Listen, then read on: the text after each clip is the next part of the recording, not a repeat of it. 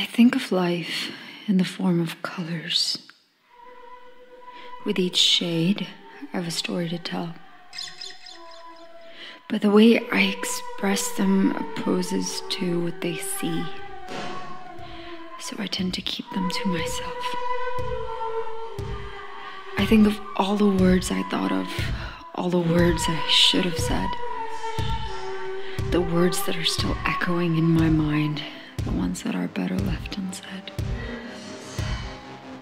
Put yourself into words. Tell me how you feel.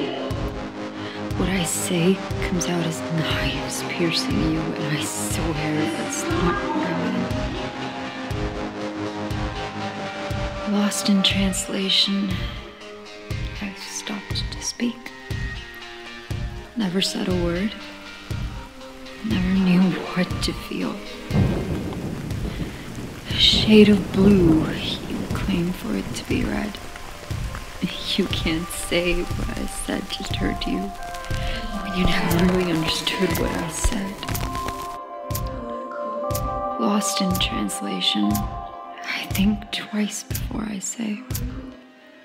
These words grow like flowers in my lungs, and lately I keep